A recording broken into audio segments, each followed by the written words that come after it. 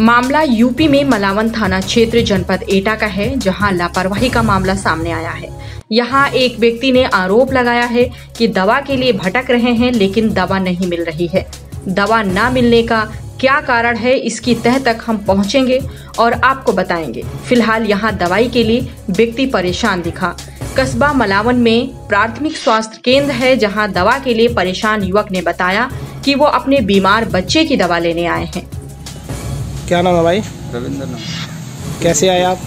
अरे दवाई लेने के लिए थे ना बच्चों ने स्वास्थ्य केंद्र से। जी। तो तो मिलते ही ना है जब आओ तो बंद ही दिखाता है तो दवाई ना है पूरे लॉकडाउन में दवाई ना आई सर यहाँ कोई आता ही नहीं है वाली बच्चा हम बता कब रोज रोज मोटरसाइकिल ले लेके हम आए आपको कितनी देर हो गई यहाँ आए? एक घंटा तक बैठे हैं। तब से कोई डॉक्टर नहीं मिला है। पूछी तुम कहाँ रहा था? हमने की भाई दवाई तो बोले आई ना लॉकडाउन में कोई आता ही नहीं है। कब से बंद रहता है ये? अब तो जब आता हमें तो बंद ही मिलते है। अब कब तक मोटरसाइकिल मांग मांग के लाए हैं?